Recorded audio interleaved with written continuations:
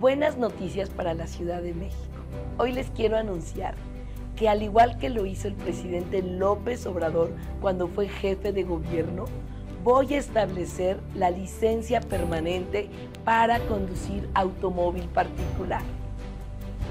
A partir del primero de enero de 2025, las personas que cumplan con los requisitos que la ley señala podrán obtener licencia de conducir permanente. Esta medida es parte de la revolución administrativa que vamos a implementar para reducir los trámites en nuestra ciudad. Conducir un vehículo es una gran responsabilidad. Así que vamos a establecer mecanismos muy estrictos y claros para garantizar la protección de peatones, ciclistas y la seguridad vial.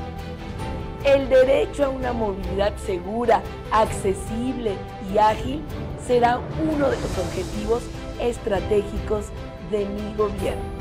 No se te olvide, a votar el próximo 2 de junio. Vota por la coalición Juntos Haremos Historia. Vota por Clara Brugada. Clara Brugada, candidata a jefa de gobierno. Vamos muy bien. Que siga la transformación.